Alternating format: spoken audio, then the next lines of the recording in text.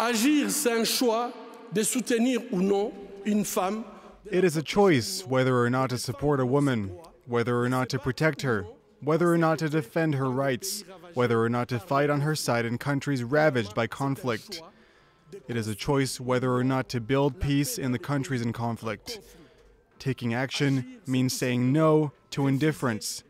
If there is a war to be waged, it is the war against the indifference which is eating away at our societies.